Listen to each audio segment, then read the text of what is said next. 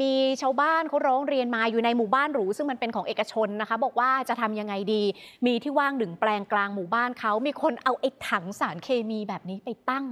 ตั้งมานานปีแล้วแล้วดูลักษณะเหมือนถังมันจะรั่ว แล้วถังเนี้ยมันอยู่ห่างจากสระน้ำของหมู่บ้านแค่ 50 เมตรเขาเกรงว่ามันจะเกิดการปนเปื้อนขึ้นมา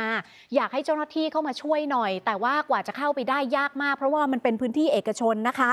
ที่สุดแล้วเมื่อเช้านี้ค่ะ อดีตนายกอบจปทุมธานีพลตำรวจโทคำรณวิททูปกระจ่าง ก็ไปที่หมู่บ้านเดลากูล อยู่ในพื้นที่ตำบลท้ายเกาะสามโคกปทุมธานีนะคะ ไอจุดที่ชาวบ้านร้องเรียนเนี่ยอยู่ห่างจากสระเนี่ยแค่ 50 เมตรเองถังสารเคมี 11 ถัง ถังละพันลิตรนะคะ รวมแล้ว 11 ตัน ทิ้งไว้กลางหมู่บ้านมานาน 2 ปีแล้วนะคะ คือทั้งหมู่บ้านมีอยู่ 270 หลังคาเรือน ตรงกลางเนี่ยมีแปลงว่างเปล่าอยู่ 1 แปลง ก็เลยปีถัง สีขาวขุ่นเป็นถังใหญ่ๆนะคะใส่ถังสารเคมีในในถังเนี่ยไอสารที่ใส่อยู่มีทั้งสีน้ำตาล สีเขียวแล้วกลิ่นมันฉุนมากด้วย บริเวณรอบๆที่วางถังหญ้าตายเป็นวงเลยนะคะแล้วถังมันอยู่ห่างจากสระน้ำนิดนึงก็ไม่รู้ว่ามันซึมออกมาแล้วมันไหลลงสระบ้างหรือเปล่า ประธานกรรมการหมู่บ้านเดลากูลคุณ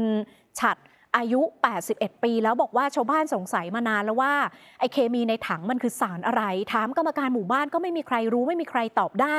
ติดต่อหน่วยงานหลายหน่วยงานให้มาตรวจสอบก็เข้าไม่ได้นะคะ เพราะว่าเป็นพื้นที่เอกชน เจ้าหน้าที่เข้าไม่ได้ แล้วเขาสงสัยว่าถังมันจะรั่ว ถ้าเคมีมันไหลลงสระมันเป็นเรื่องใหญ่แน่นอน ก็เลยประสานอดีตนายกอบตท้ายเกาะให้ช่วยติดต่อพลตำรวจโทคำรณวิทย์ทูปกระจ่างมาช่วยเหลือนะคะ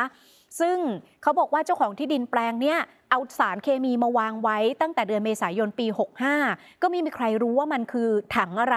เคยติดต่อไปยังเจ้าของแปลงที่ดินให้มายกถังออก เขาก็ไม่หือไม่อือ ไม่สนใจ ติดต่อใครก็เงียบกลิบไปหมดเลย ทางฝั่งของพลตำรวจโทคำรณวิทย์บอกว่าได้รับรายงานแล้วก็คือห่วงประชาชน ก็ช่วยประสานอีกต่อหนึ่งประสานไปยังผู้ราชการจังหวัดปทุมธานีกับนายอำเภอสามโคกกับสาธารณสุข ให้ลงพื้นที่มาตรวจสอบนะคะ แต่ท่านก็ยอมรับตามตรงว่า ไอกระบวนการตรวจสอบอีกกี่เดือนก็ไม่รู้เหมือนกัน เพราะมันติดขั้นตอนหลายขั้นตอนเหลือเกินตรงนี้มันเป็นพื้นที่เอกชนด้วยนะคะ ก็ได้แต่เห็นใจประชาชนที่หวาดผวาอยู่ตลอดเวลาได้แต่ หวังว่าทางที่ใกล้ที่สุดก็คือการติดต่อหาเจ้าของพื้นที่นั่นเอง ให้มายกถังออกไป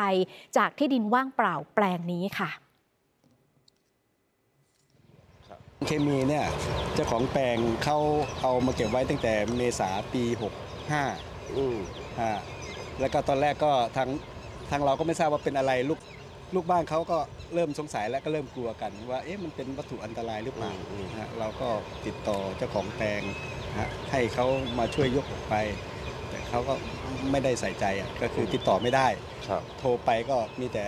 ตัวแทนรับสายครับ นะฮะ